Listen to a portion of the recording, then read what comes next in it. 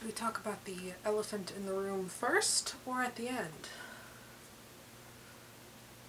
I say the end. Hi guys, so I'm making just a short and quick update video to go up right now. So what I want to say is if you've been following you may notice that there were a couple of days that were blank.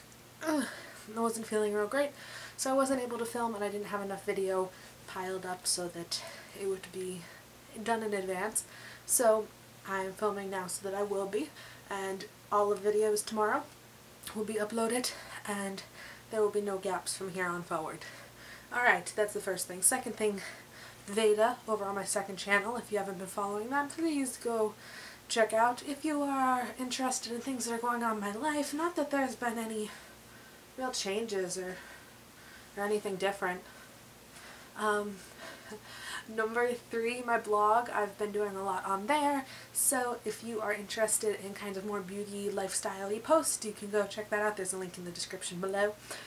Um, let's see. Is there anything else? I can't think of anything else. What could there possibly be? Oh, as you may have noticed, I dyed my hair blue. Well, should we say it was supposed to be blue? It's turned out more of a teal my hair was not bleached all the way first, it was just blonde. So, yeah. I haven't decided if I'm going to keep it yet, so uh, let me know what you think about it, because, I don't know, it's kind of cool.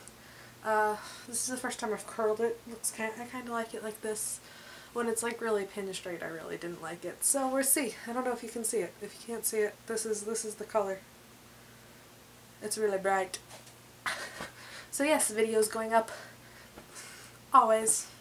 There's always videos going up, but yes, the, the lack in video will be fixed tomorrow. So I hope you're having a fantastic day. Let me know what you think of the blue hair situation in the comments below, and I will see you tomorrow.